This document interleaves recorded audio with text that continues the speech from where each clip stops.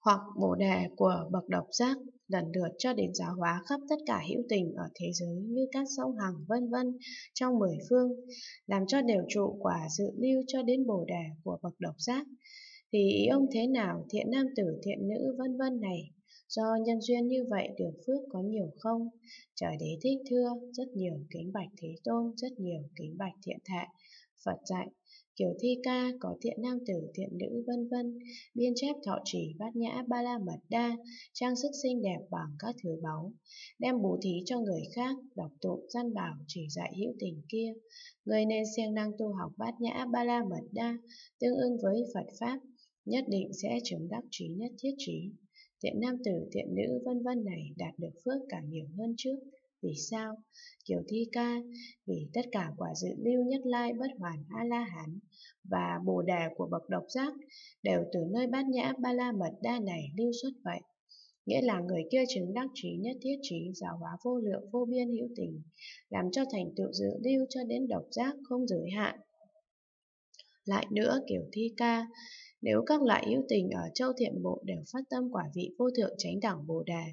lần lượt cho đến tất cả hữu tình ở thế giới như các sông hằng trong mười phương, đều phát tâm quả vị vô thượng chánh đẳng bồ đề. Có thiện nam tử, thiện nữ vân vân, biên chép thọ trì bát nhã ba la mật đa, trang sức xinh đẹp bằng các thứ báu, đem bố thí cho người khác, bảo đọc tụng. Ý ông thế nào, thiện nam tử, thiện nữ vân vân này, do nhân duyên như vậy, được phước có nhiều không? Trời đế thích thưa. Rất nhiều kính bạch thế tôn, rất nhiều kính bạch thiện thạ.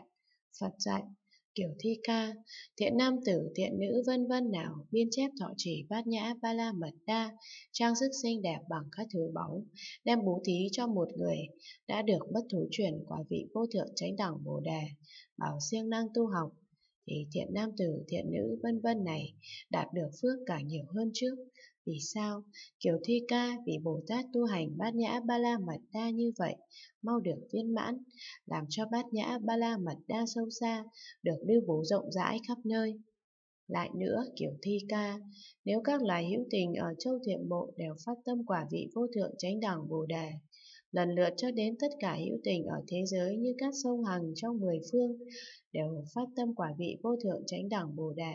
có thiện nam tử, thiện nữ vân vân, biên chép thọ trì, phát nhã ba la mật đa, trang sức xinh đẹp bằng các thứ báu, đem bố thí cho người khác, vào đọc tụng, lại dùng văn nghĩa hay đẹp để giải thích, thì ý ông thế nào, thiện nam tử, thiện nữ vân vân này, do nhân duyên như vậy, được phước có nhiều không? Trời đế thích thưa, rất nhiều kính bạch thế tôn, rất nhiều kính bạch thiện thệ. Phật dạy, Kiều thi ca, nếu thiện nam tử, thiện nữ vân vân biên chép thọ trì bát nhã ba la mật đa, lại đem bố thí cho một người đã được bất thối truyền quả vị vô thượng chánh đẳng bồ đề bằng đọc tụng, lại dùng văn nghĩa hay đẹp để giải thích, thì thiện nam tử, thiện nữ vân vân này đạt được phước càng nhiều hơn trước. Lại nữa, kiểu thi ca, nếu các loài hữu tình ở châu thiện bộ đều được bất thối chuyển quả vị vô thượng chánh đẳng bồ đề,